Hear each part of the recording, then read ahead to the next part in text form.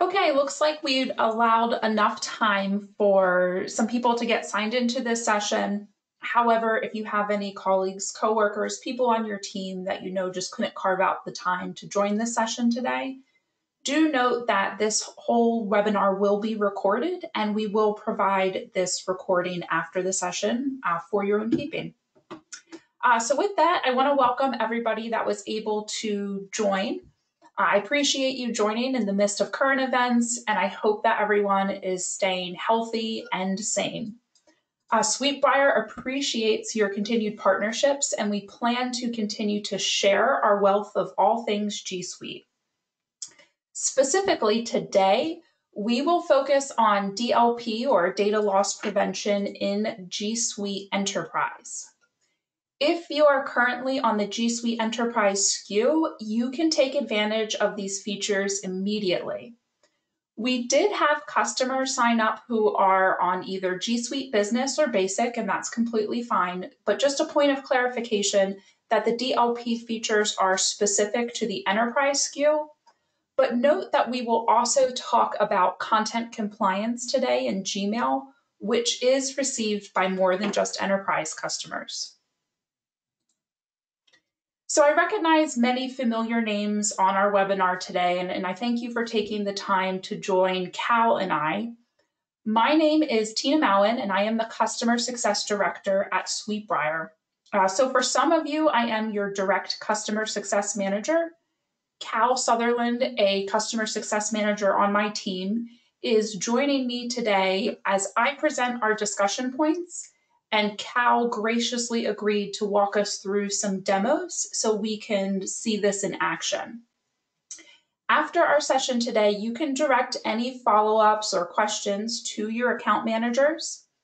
If you are unsure who that may be, you can just simply reach out to customer success at suitebriar.com. Of course, our help desk at well, help, help desk at suitebriar.com, and our support and success team will be happy to assist you. So we like to keep things short and sweet. So here is the three-step agenda that we will follow today.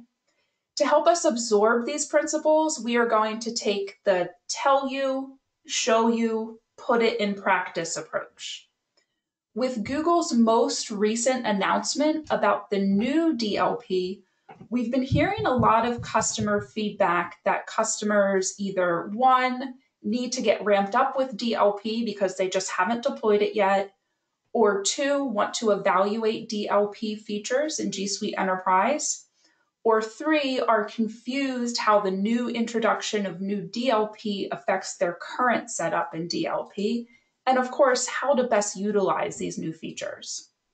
So this agenda will answer those questions by reviewing what DLP is briefly so we can all get on the same page, uh, and then discussing and demonstrating the legacy and new features of DLP, and then providing helpful tips and use cases that we often hear from our customers so you can set up DLP successfully in your environment. As mentioned, you can enter any questions into the question pane.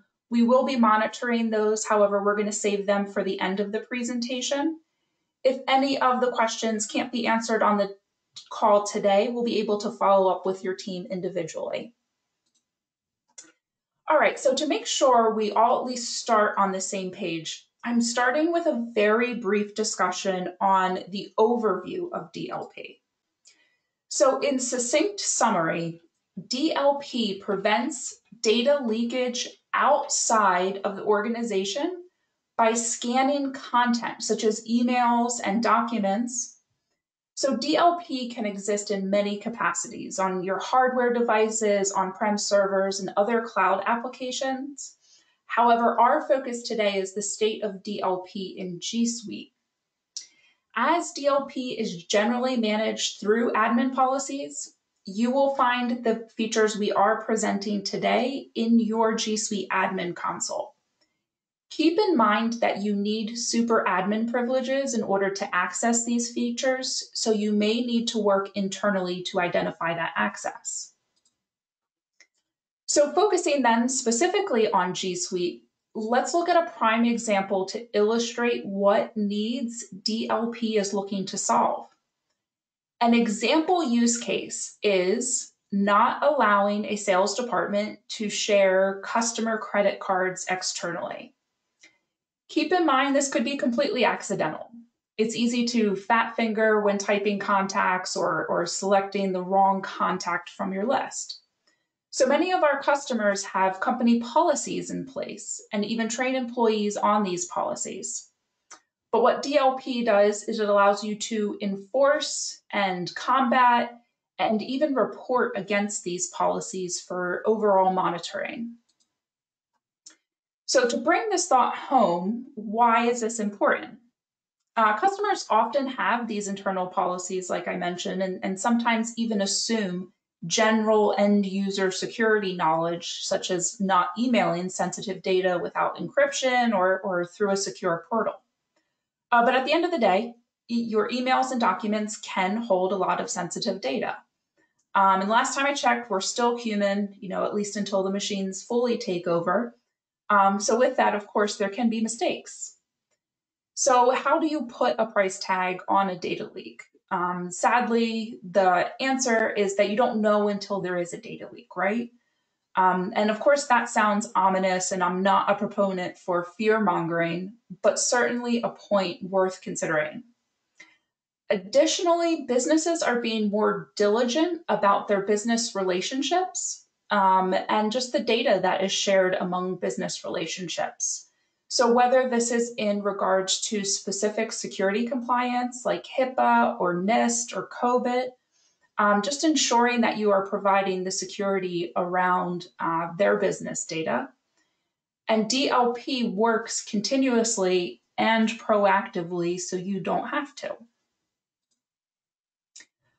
Okay, so that sounded a bit all gloom and doom um, with why it's important, but let's look at actual trends here. What are the common use cases to evaluate? Where do you want to draw your attention to?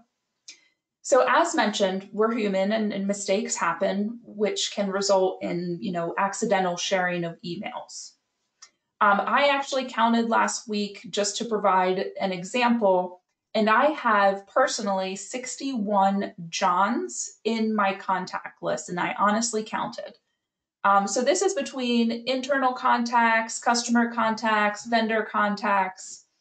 But lucky for me, I don't work with a lot of sensitive data in my role. Um, so not a huge deal if I email the wrong John to let them know about the newest G Suite release.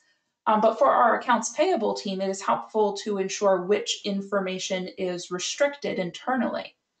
Um, but uh, that'll show, you know, some customers why I, I, never seem to be the one to respond to those types of emails uh, because they don't actually go to me.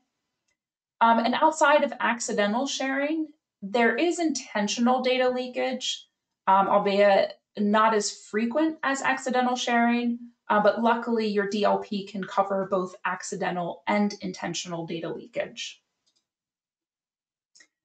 Okay, so now that we just did a quick recap on the necessity of DLP, we're going to review the current state of DLP in G Suite and also the future state of DLP covering those new releases that just came out. This is going to clear up questions that our customers are having about the new DLP policies, how they will affect your existing environment, and what are the benefits to be received with the new DLP setup. Um, you'll also learn uh, frequent questions that our uh, customers have been presenting to us. One of the most frequent requests that we've been receiving previously in DLP is how to customize your notifications for incidents um, in DLP violations. So we'll be covering that as well. Before we go any further, I'm going to ask that you pay special attention to this DLP infographic. So notice the first piece, which is having a company policy and most importantly, communicating that company policy. For our customers that are just getting ramped up on DLP, it is likely not the best idea to go set your first DLP rule right after this webinar. That's because end users can become confused when actions they have previously taken, uh, such as emailing credit card numbers, suddenly breaks.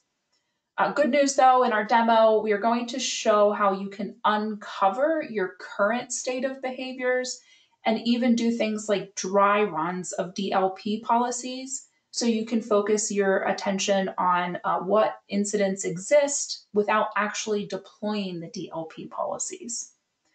Um, now we're going to take a deeper look into the actual configurations of these admin set rules.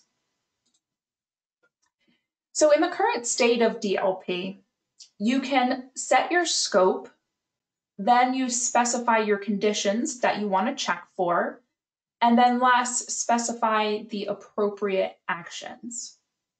So in your scope, you can either apply these policies to your entire domain or a subset of users, such as an organizational unit as they exist in your admin console today. Cal is going to show us in the demonstration that in Legacy DLP, the old version, um, that will let you customize based just on organizational unit. But we are excited to showcase today that you can now configure this by Google Groups as well. Um, we've been finding that's a big trend. Customers are really organizing by Google Groups, using them as security groups, distribution lists, access lists. So it really just makes sense to start to translate these types of policies into the admin settings. Uh, next, then, you would tell your DLP policies what you want to scan for. So credit card numbers, passport numbers, you can even have your own custom regex. We will talk more about thresholds and um, how this relates to your policies and also the confidence level that it can identify these DLP violations. So we'll give you some tips there. And then last, you'll be telling the DLP policies what actions you want to take. So in Gmail, you can actually stop the sending of messages if there is a DLP violation or send it to quarantine if you just want an additional set of eyes. Um, in Google Drive, you can actually block external sharing completely. Or if it's less sensitive, you can just warn your end users to ensure that they're following company procedures or just to double check how they're sharing. So I did mention that you can work with custom regex, but luckily Google has predefined content detectors to make the setup easier. So you can see in the United States, you can easily set policies for social security numbers, driver's license numbers, ABA routing numbers, plus additional content detectors across the globe. We have many global customers, although the vast majority are United States based, but even in those cases, many satellite offices across the globe. So these predefined content detectors will be able to meet your needs.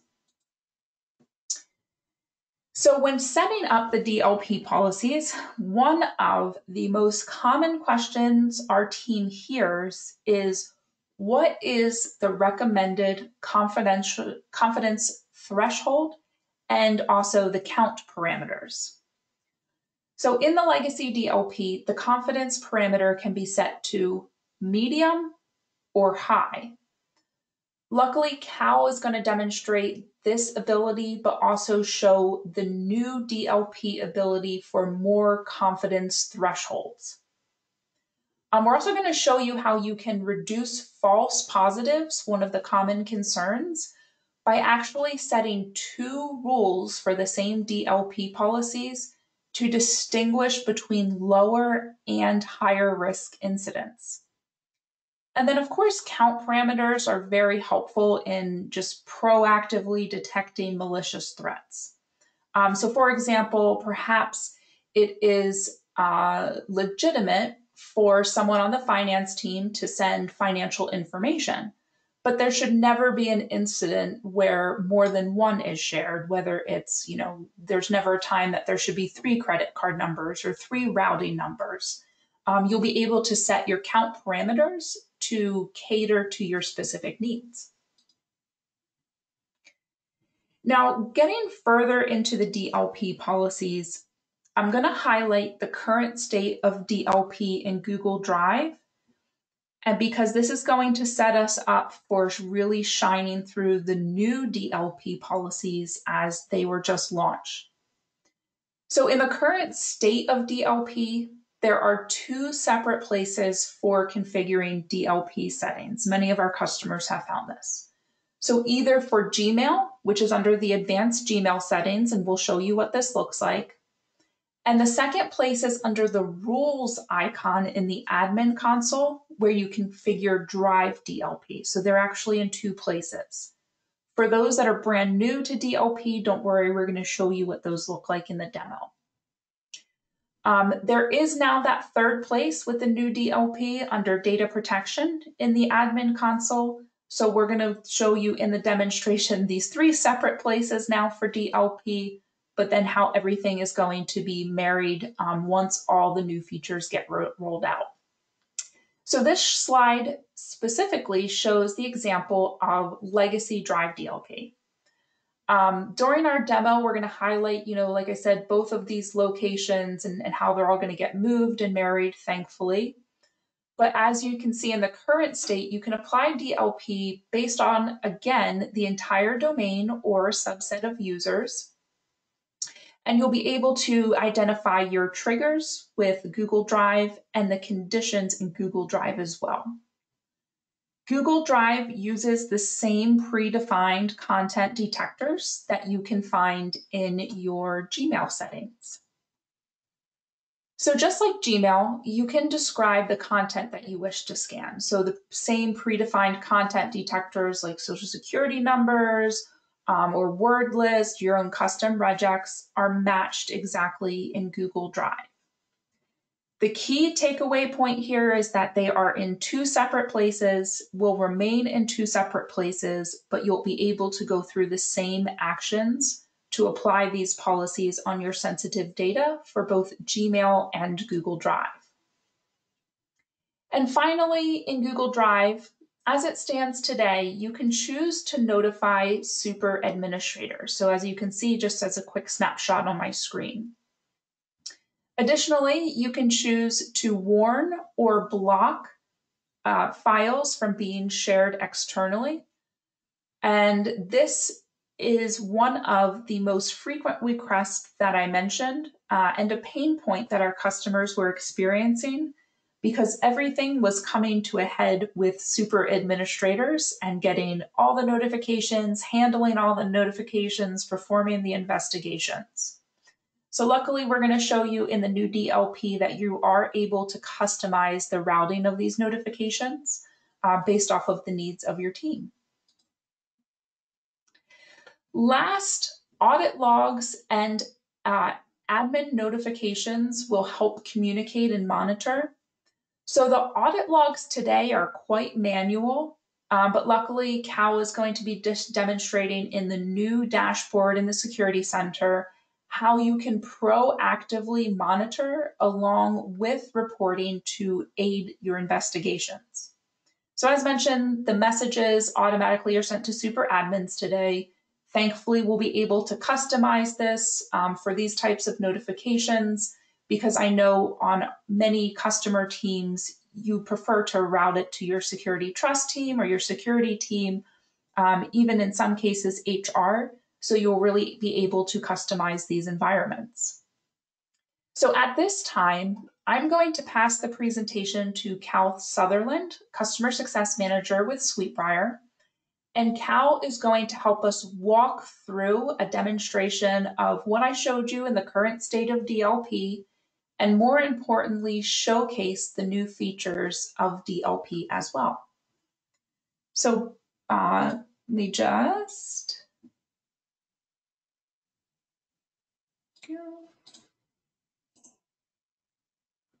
pardon for the lag there, it just froze up on me, um, but we are good to go now. Thanks, Cal. All right. Thank you so much, Tina. That was great. Um, I believe everyone can see my admin panel. Tina, can you see that okay? Good to go. Awesome. All right, so uh, Tina has given us a great introduction to DLP, and I'm just going to walk you through some of the things that she's uh, told you about. Uh, we're going to start off with content compliance, and this is really where we're discussing Gmail itself and being able to set rules uh, regarding mail and how it's flowing through your system. So some of you may not have uh, G Suite Enterprise, which is really where all the data loss prevention DLP rules come into play. However, everyone has access to content compliance. And so there are still some measures you can take with your Gmail to set rules about what words, what keywords, what um, information can be sent outside your organization and even within your organization. So we're going to start off with content compliance. In order to get there, I'm just going to click on apps here. I'll click on G Suite Core Services. As we all know, Gmail is a core service. We'll choose Gmail here. And on this next screen, I'm going to scroll down to advanced settings. Here we go. Once we hit uh, advanced settings, we're going to go down to the content compliance area, and we'll actually create a new rule and talk about some of the features you have. So again, even if you don't have DLP, um, you're not maybe not under enterprise, you can still create a content compliance rule and change routes or block specific messages if they have uh, you know specific data. So I'm going to click on add another. I've scrolled down to this content compliance area. There is an existing rule with credit card numbers, obviously, but for the purpose of the demo, we'll go ahead and create a new rule. So I'm going to click on add another.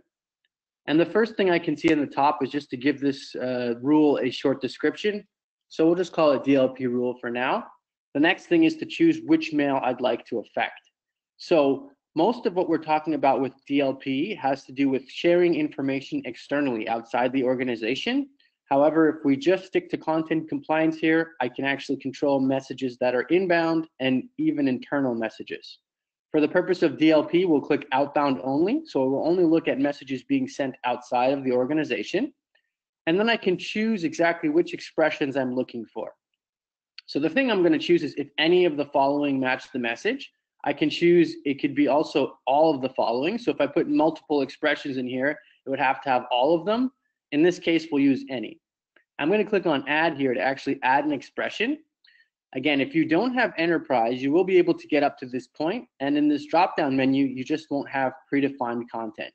You will have access to these other uh, choices here. So we'll just quickly uh, click on simple content match so I can show you this. So simple content match just requires you to put some specific words here. So this might be a project that's internal only that you want to make sure is not sent out externally through mail. This might be a specific username or maybe the CEO's name. You want to make sure that not, no messages have, uh, are sent outside with this name in it. Um, I can even get a little bit more granular and click on advanced content match. And then I can actually choose where this information must appear for the rule to trigger. So I can say the full message, the body, the subject, and things like that. For now, we'll just go to simple content match just to give you a quick demo. And we'll say we don't want the, the word yellow bird to be in there. So I'll click on save. And anything that matches, meaning anybody who sends an email outside the organization with this keyword in it, I can choose how I want this message to be handled.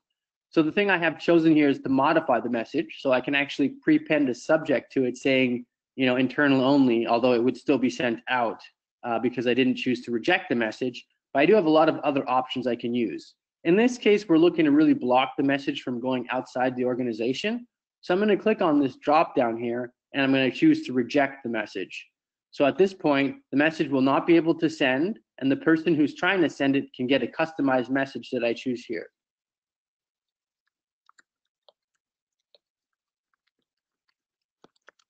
All right, so this person will get a bounce back message saying that they cannot send this out with this key message here. You can also choose to quarantine messages as well. So instead of actually blocking the message, you can have it quarantined in one of your admin quarantines or a custom quarantine that you've created. Um, the last little piece here is if I click on show options, I can granularly choose who I want this rule to affect. So do I want it to affect all users, specific groups, or any email address, even if it's unrecognized. That's typically for inbound mail if somebody sends an email to somebody who doesn't exist within the system. So we do have a lot of options here. And one thing to keep in mind again is that you do have access to using this even if you don't have enterprise. Let's quickly stay on content compliance and talk about what I do have access to under enterprise. And that's really where these DLP rules come into play. So I'm going to go back to this expression here, which is where I choose what messages I'm targeting, and I'll click on edit. Predefined content match is where I have access to those DLP predefined rules. So I'm going to click on predefined content match, and I can now choose many of what you saw in Tina's presentation, excuse me. So I can choose to look for social security numbers, driver's license numbers, and thing like, things like that within the United States, and of course, other regions. Typically, a lot of the times what you're looking for is credit card numbers. So if I scroll down to global credit card number, I can make sure that any message that has a global credit card number appearing at least once. So this is where match count comes into play. How many times do I want to see a credit card number in the message for it to be flagged? So the default is one. Anytime I see at least one credit card number, the message will be flagged. But if I need to see an increase there, maybe I want it to have at least five credit card numbers for it to get flagged, I can go ahead and change that. Now we did talk quickly about the thresholds. I have options to choose high or medium. And this is really where it comes into play if you're um, looking to not have as many false positives, let's say. So in some cases, if you're sending out a series of numbers, it can look like a credit card and you're telling the rule how sure it has to be for this um, rule to be flagged. So if I leave it on medium, that's typically the default. But if I do start to get a lot of uh, false positives, I can click on high. So it has to have high confidence that the message is actually a credit card. Another thing you might want to do is click on this data loss prevention demo. Now, this is a really great way to quickly test and understand what would be flagged if this rule was in place. So again, without taking action on my users, I can actually just go ahead and start typing a credit card number. Now, nobody write this down, although it's not really my credit card. And you can see that it's not flagging this as a credit card. Let's see if I can put a phone number and see if it'll flag that. Yeah, so it's actually thinking this is possibly a phone number. So if I had a rule in place looking for phone numbers, it would flag this as uh, possibly a phone number. So you can go ahead and put information within this box here to see how it would be flagged, especially if you're look, working with specific numbers or keywords that you do need to send out. You might want to come in here and test them out to see if they would get flagged with your rule. So it's a really great place to start when you're testing DLP. All right, so for now we've chosen global credit cards. We have a minimum match count of five, so it has to have at least five different credit card numbers in there or you could have the same one five times for that instance. And we're leaving the confidence threshold at medium. I'm going to go ahead and click on save, and then we're going to choose exactly what behavior we want to happen. If an email is sent outbound with a credit card number, we want to reject it.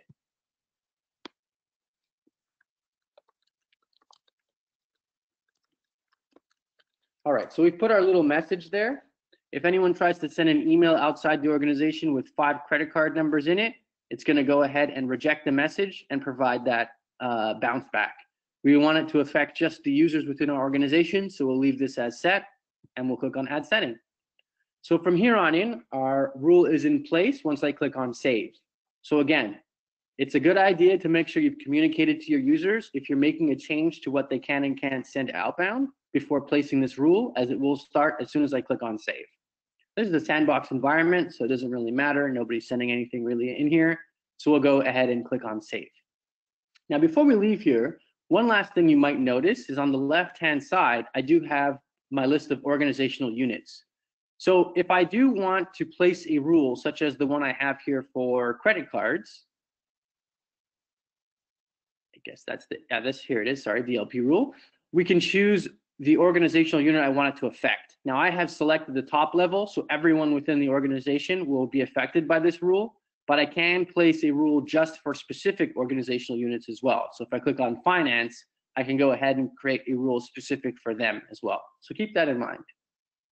And that's basically it for content compliance. Again, the key takeaway is, is even if you're not on the uh, enterprise, you can still create content compliance rules for specific content like keywords or project specific information that you do not want to have sent outbound or even internally. So I'm going to go back to the main screen here.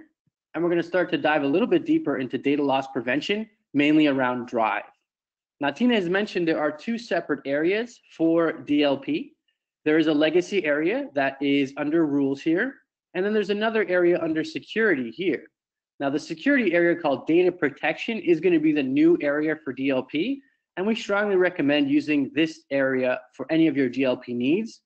Again, the rules area will be here indefinitely. However, eventually there will be a migration.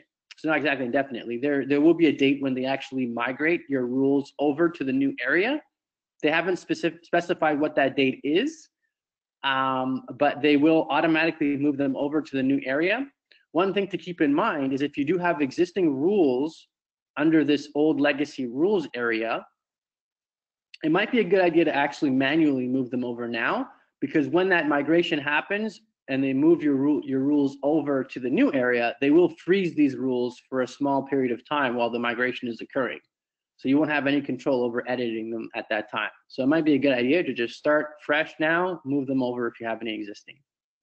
All right, so let's dive a little bit deeper into the legacy area of DLP. You can already see in this message at the top, it's kind of telling me to go over to the new section, but we're gonna give you the full experience of DLP and what you have available to you. So we'll start off with this legacy area. All right, so it's pretty straightforward. The little yellow plus icon here um, is where we can create new rules, and we're mainly gonna be doing that as we walk through the demo. There's an audit log that really gives you some information about how those rules are being triggered once they're in place. But let's go ahead and create a rule now. So I'll click on the plus and it will automatically bring me to the template area. So these are predefined content matches that we saw in the content compliance rule. However, these are going to be used against our drive data. So for the demo, we'll just use PII data for the US, so personal identifiable information. I'm going to use that as our template. So I'll click on that and we'll just give it a name. So I'll leave PII data for the US as the name of it. And it's already pre-populated most of what we need. So it's gonna trigger on Google Drive files.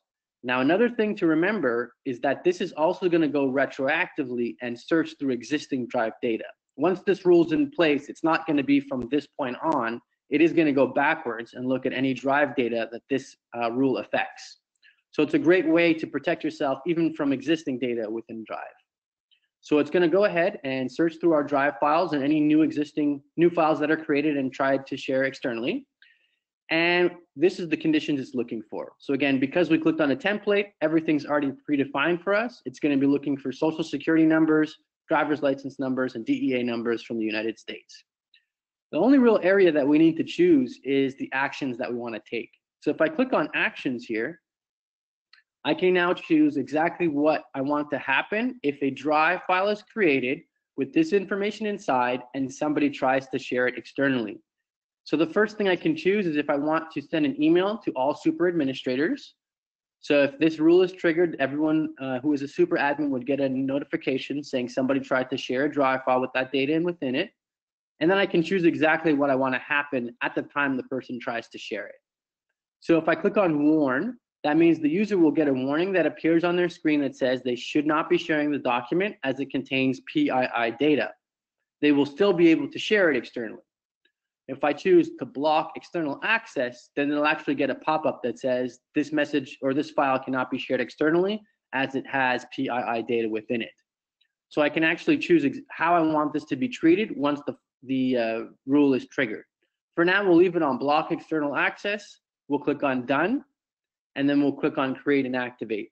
Now, again, another thing to uh, important thing to remember is once I click on create and activate, this rule is in place right away. It will go back and look for existing drive files that have this data and remove the sharing the, of anyone who's on it externally. You'll see that when you go to the sharing page on one of these files that was triggered on, you'll see that the username of the person who it was shared with externally is still there. However, it will be grayed out and there'll be a, a red exclamation point saying that this rule was triggered and they can no longer access the file. So be careful when you're playing with these.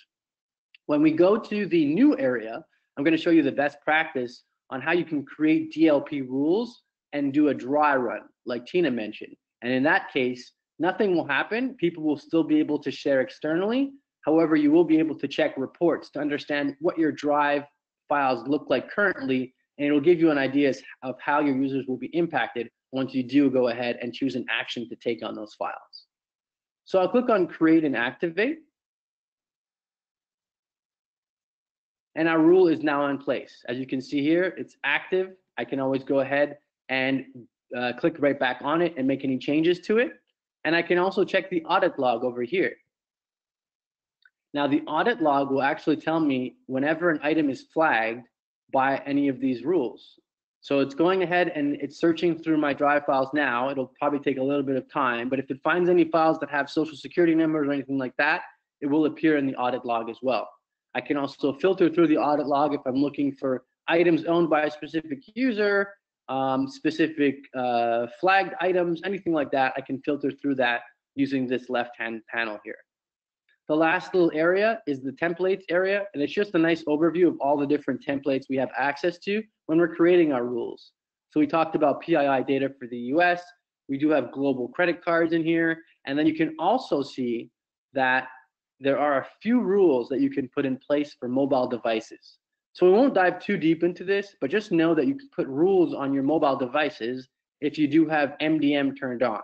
Now that's a whole other conversation, but if you're managing mobile phones, you can also use DLP rules to perform specific events on those devices if something happens like the, the phone is jailbroken or something like that. We're going to mainly focus on Drive, but do know that that is there. And that's it for the legacy version of DLP. Again, you'll see that there's a lot more options in the new version, and that's why we strongly recommend jumping over to there if you're going to start creating rules. So I'm going to click on the three bars over here. I'm going to scroll over to security, and we're going to jump into data protection.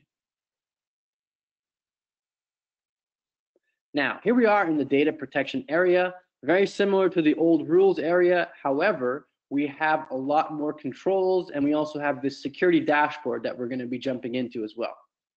So the first thing I'm gonna do is just quickly talk about detectors. It's gonna make more sense as we jump into creating a new DLP rule if we create a couple of detectors or if we look at the existing ones.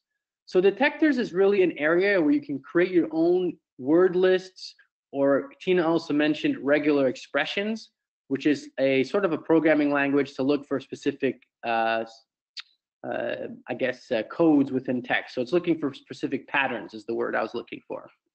So if I click on add a detector, we can either choose from creating a regular expression. Again, that's uh, a way you can look for specific patterns in text, or we can look at creating a word list. So we'll click on word list for the purpose of the demo. And let's just pretend we have specific company projects that we don't want to be shared externally within Drive files. So let's say we had a specific company project called Talon. Uh, again, you can use comma separated words. Uh, let's say we also had one called Apple. And so any files that contain these key project specific uh, words, we want to make sure those are blocked from being shared externally. And that's basically where we create our detectors. So if I click on create, you'll see that I now have these word lists available. Now nothing's happening with these yet, but this is where I create the list of words or list of regular, regular expressions that I'm gonna be using within my rules. So we'll go ahead and go back to the data protection area and we'll create a rule that will utilize one of these word lists that we've placed in the detectors area. So I'll click on data protection and then I'll click on manage rules. And this is where we can go ahead and create new rules, either using the predefined content matches we saw previously or using a word list. I think it might be a good idea to create both for the demo. So we'll start with the word list and then we'll create a predefined content match uh, list as well. So we'll click on add rule and we'll click on new rule. In this case, we're not going to be using a predefined content. Uh, we're going to create a new rule with the word list that we've created under those detectors. So I'll click on new rule. And very, very similarly to the other DLP area, I need to give it a name.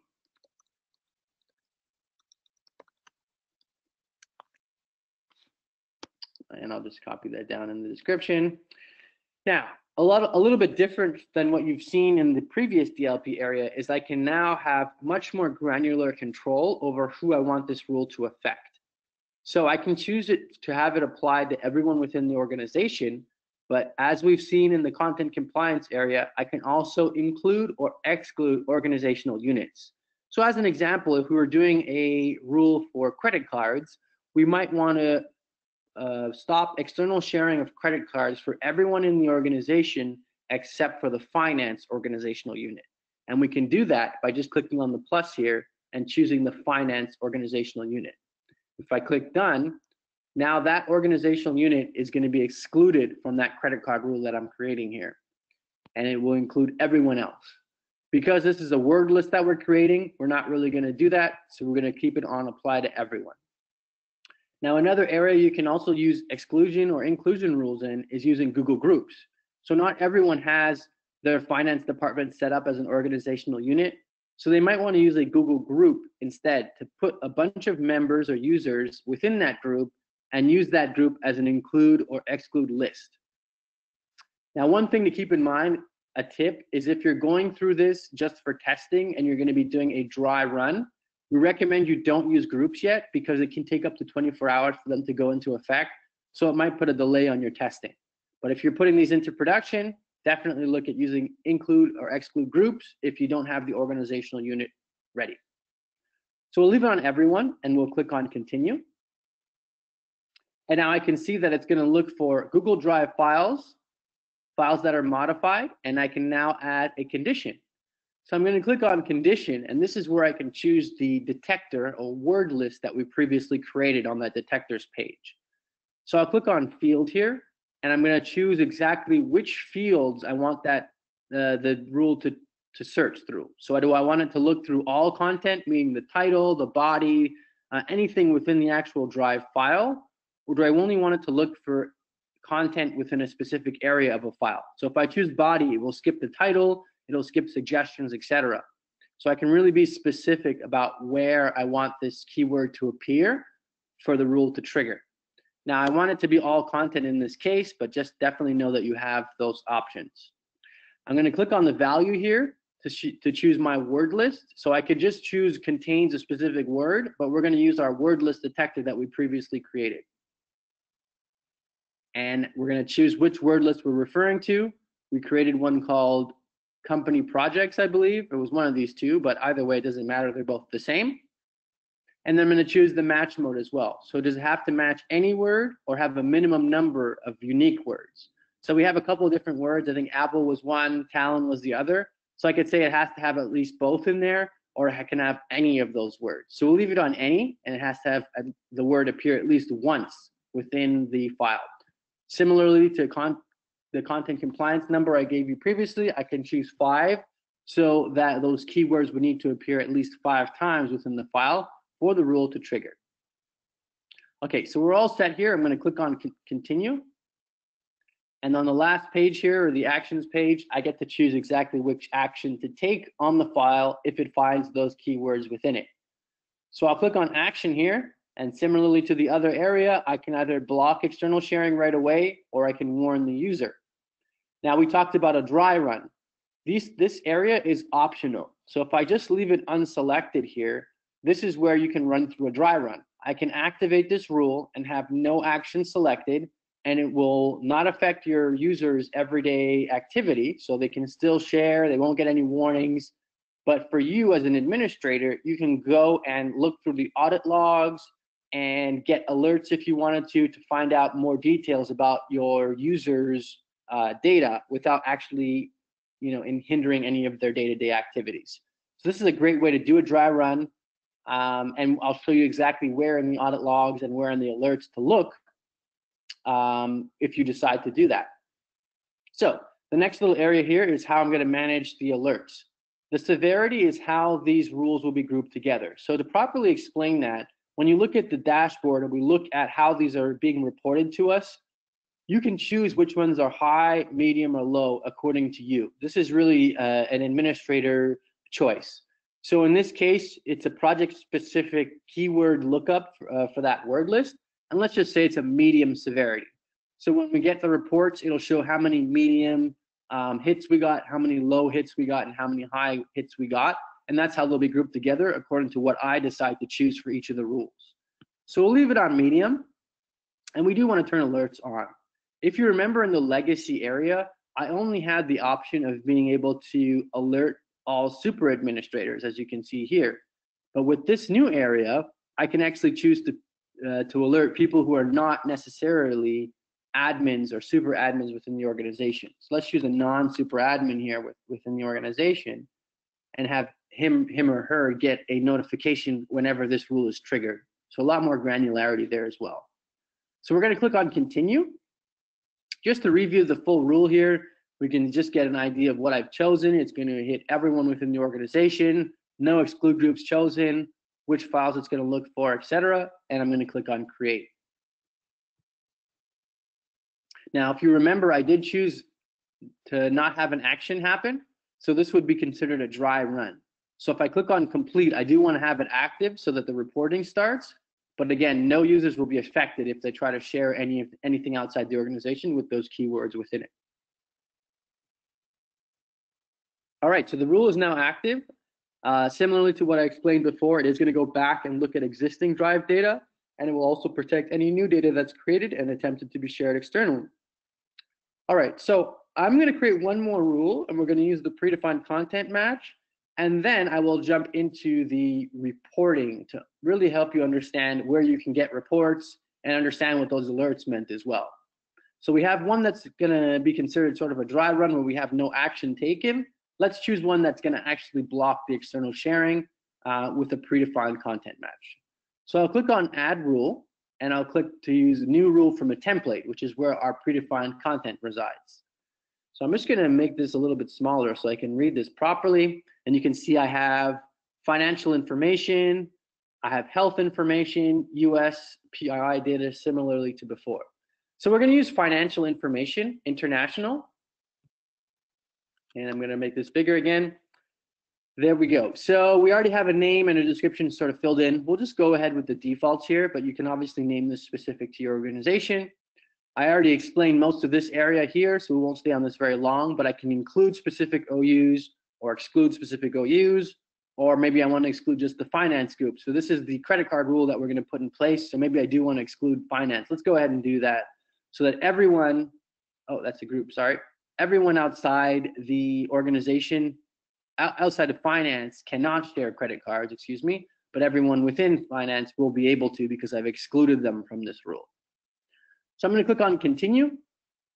And I can now see that the rule is in place. It's predefined uh, me with a bunch of financial information, so global credit cards, global bank account information.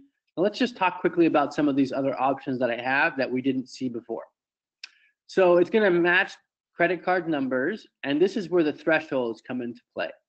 So we only had high and medium with the um, older DLP. We now have a lot more granularity about how sure we want this rule to be that it's a credit card number, for instance, um, and and and when to trigger the rule. So in this case, it's very likely, meaning it has to be pretty confident that there's a credit card number in the file for the rule to trigger. If I am worried about it missing specific data, I can lower this confidence threshold so it will flag anything that's possibly a credit card number. And I can do that for any of the predefined content that I create, um, etc. I can even do the same thing for regular expressions. Similar to, similarly to what I explained before, how many unique matches, so how many unique credit cards numbers need to appear in this file for the rule to trigger, or how many times does this have to have a credit card number in it for the rule to trigger? So it could be the same one repeated several times. If I put two here, it has to have at least the, uh, two credit card numbers, even if it's the same one, it needs to be in there twice. I explained before that I can look for different areas of a file or all content, meaning the title of the file, the body, etc. So we'll leave it on, on uh, all content. Now I can even nest rules as well. So this is really where you can get really granular about what data you're, you're trying to block. I might be looking for something that has a credit card number, but also needs to have another piece of information within it for it to get flagged. So let's just say it has to have a credit card number appear twice, but I also want to nest this and it also has to have something else. Let's say we'll use that word list as an example. So it has to have the word list and it has to have one of these other matching conditions for the rule to trigger. So you can get very granular about what you want to do with these rules. You can even use this button here to exclude. So it can it can have it has to have a credit card number, but can, should not have a project specific word in it for the rule to trigger. So maybe you want to actually exclude specific data. So it does not have a specific word within that word list. So you can get very granular about how you're creating these rules. For now, we'll just leave it on the predefined content, but know that you can get very granular again about, about what you're looking for and what you want to exclude from the rule, especially if you have project specific data or company specific data that you may want to allow. So let's click on continue here. Again, we're going to click on block external sharing for this one. So this is not a dry run. This will actually go ahead and block any existing data that matches that uh, content um, and any new shares that occur with credit card numbers within it. I'm going to choose this as a high priority or high severity so that the reporting will show me all the high uh, severity uh, incidents that occur. And I'm going to click on alerts and we'll alert just all super administrators. So let's click on continue here. We'll click on the review screen, we'll hit create, we'll leave it active. And so now our rule is created and active. So we have two rules that we've created. We've created this one that's sort of a dry run looking for that word list. And then we've created this other one that is not a dry run and actually will block external sharing for credit cards. So the last important thing you might want to know is, well, how do I get information on what's happening once these rules are in place? And there's actually quite a few areas that you get reports on this. So we'll start with the security area. If I click on security and then data protection, let's go back to data protection, excuse me, and we'll jump over to the security dashboard. So here it is. It's going to pre-populate all the DLP stuff in the dashboard and give me some reporting. So I can see that yesterday there were some low severity severity incidents that occurred, actually 18 of them and we had three medium severities that occurred. So this is that severity level that I chose. I chose to group specific rules based on their severity, and it will affect how this dashboard is reported to me. Now, if we scroll down, I can actually get more information on these incidents that have occurred. So I can see that, again, there was 18 low and three medium yesterday, and then the, the day before there was three medium as well. I can actually dive deeper into these files if I wanted to get some reports. Before I do that, I'm going to click on actions so you can see what actions were taken by the rule automatically once the rule was triggered. So six alerts were sent for medium and 18 alerts were sent for uh, low. And you can read the rest here. Seven were sent for, uh, were actually blocked. Files were blocked for low severity and six were blocked for um, medium severity and then 11 were blocked for low on this date as well. Now you might be looking for specific information about these. So let's go back to incidents. This little button here will bring me to the investigation tool. Again, this is enterprise only, but it will pre-populate the investigation tool with all the information about those uh, incidents that occurred, and it will give me information about which exact files this occurred on, what the rule was that triggered the action, what action was taken, and then if I want to actually change the action for some of these, maybe stop it from being blocked, I can activate or deactivate the rules that this had to do uh, with. So the investigation tool is a great way to really dive deeper into each of those incidents. But if we go back to the dashboard here,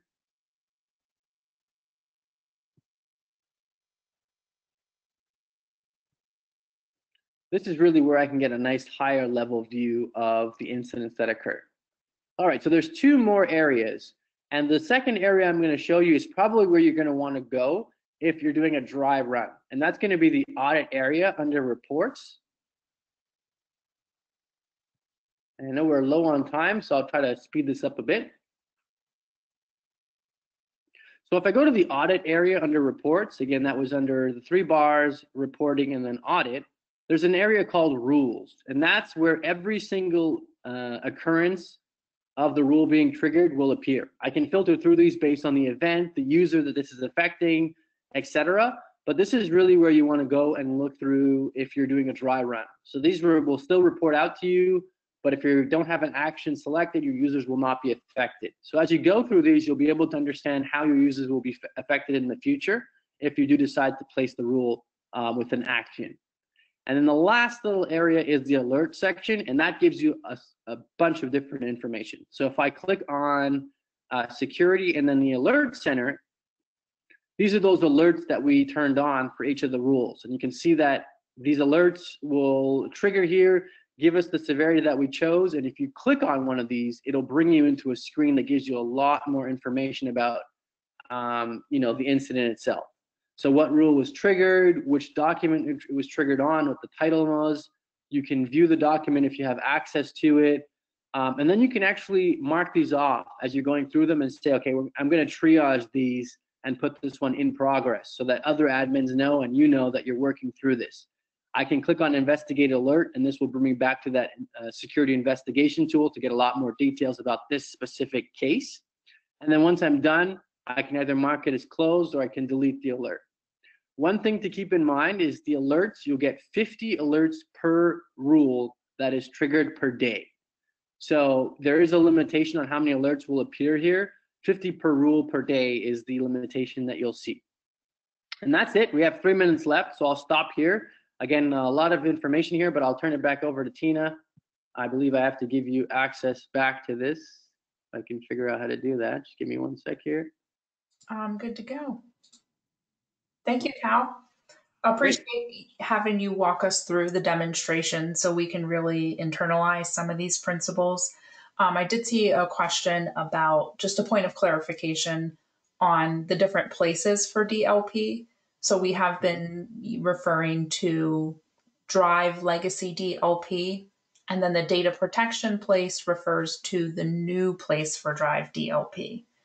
And an additional clarification that Gmail DLP will continue to live under those advanced Gmail settings, but there are plans into the future just to bring that under data protection as well.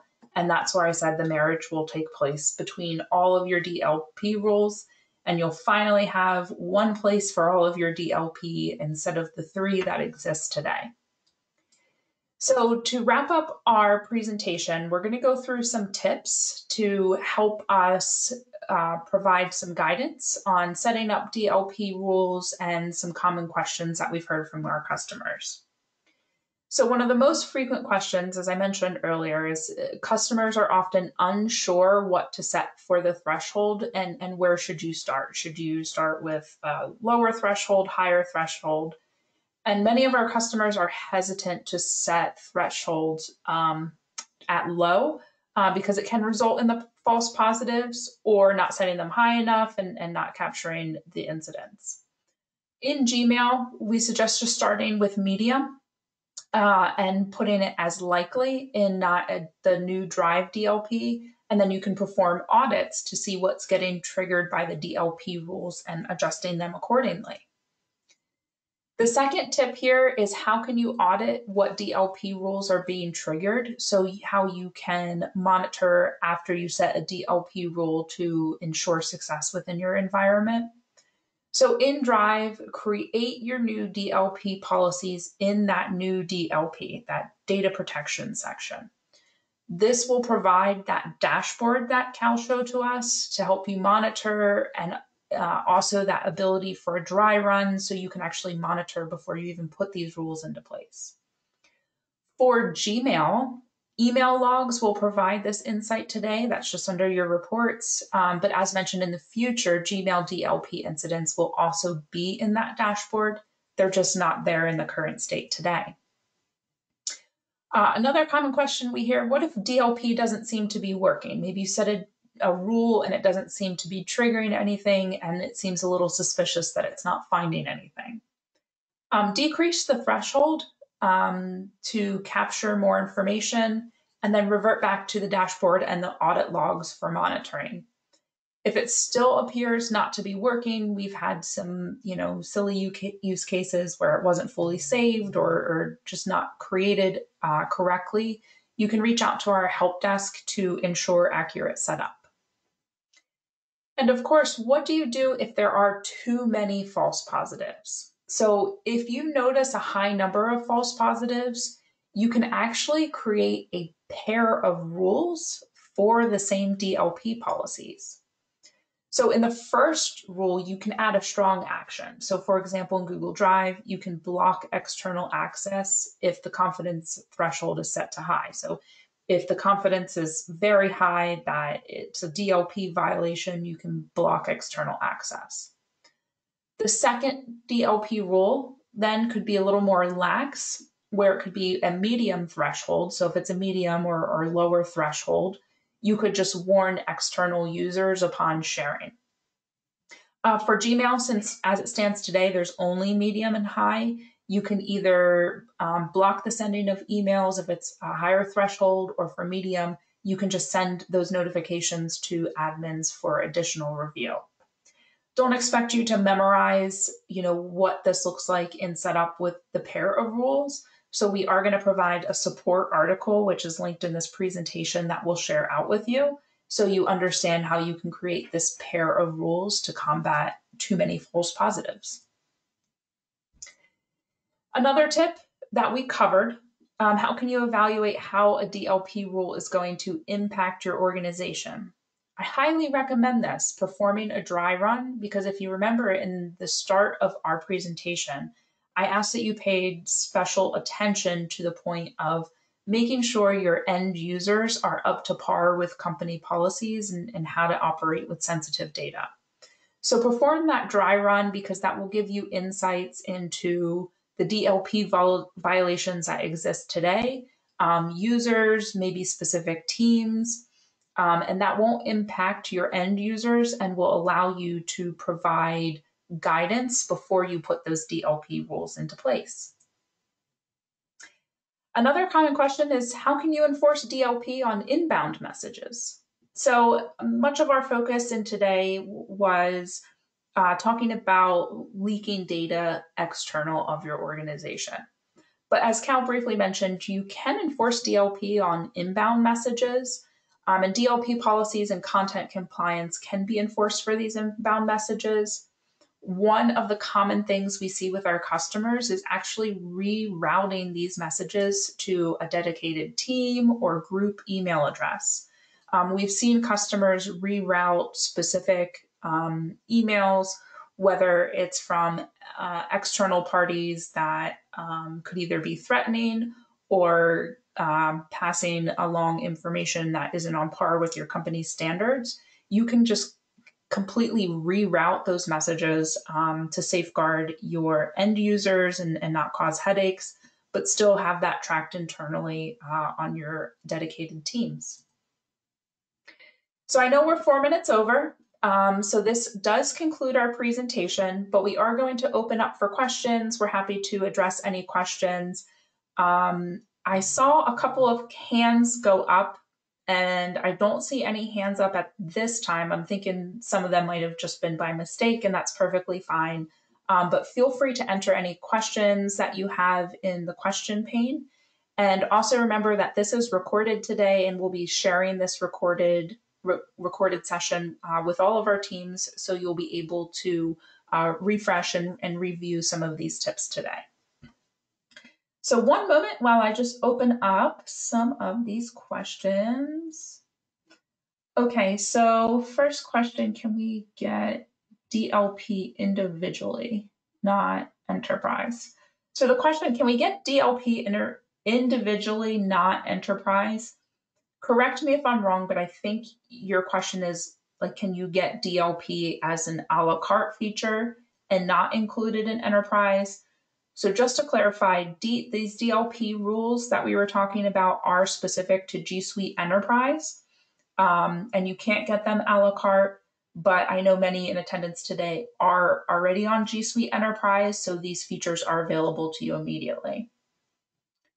Um, the next question, I'm confused on the different locations for DLP. So, okay, so we did cover this briefly, um, but let me reiterate. So if you are confused that there's three places for DLP, which is completely understandable, um, just know that previously there were two places, so Gmail DLP and Drive DLP.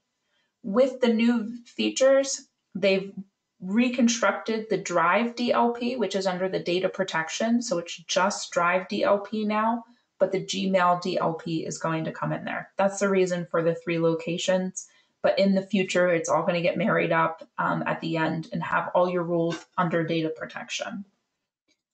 Um, someone has a specific rule, but it doesn't, it's not working for a specific team. Um, I think that's something that we would follow up individually, um, just because I don't have uh, sight into the DLP rule that you've configured, please reach out to our help desk. You can reach out to customer success at suitebriar.com. We'd be happy to review with you uh, and see if we can get you up and running. Um, another question Do you have a, a best practice guide on what DLP rules to set?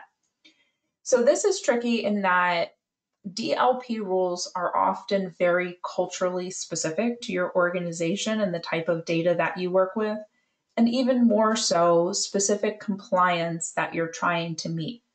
So there's not a hard and fast guide in G Suite for what DLP policies that you would want to set.